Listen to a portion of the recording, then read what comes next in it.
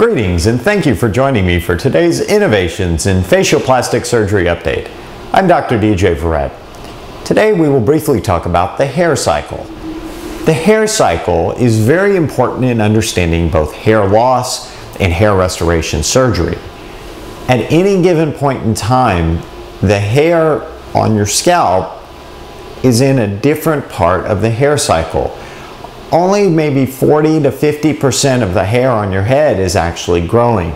The remainder of the hair is either in a state where it is simply existing on your head or it's possibly in a resting state.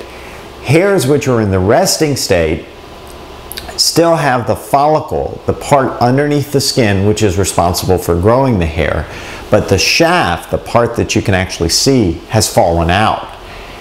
In hairs undergoing androgenic alopecia or male pattern baldness, the hair shaft has fallen out and the hairs are actually in the sleeping state. Medications such as Rogaine and Propecia help to block the effects of the androgens such as testosterone and its byproducts and push more of those hairs into the growing state. Therefore, when you take medications such as Rogaine and Propecia, you may notice an increase in the hair density. It's still the same number of hairs that you had, it's simply that more of them are actually growing. In addition, when you have a hair transplant, the hairs become shocked, so the shaft or the, uh, the shaft falls out, but the follicle is still present.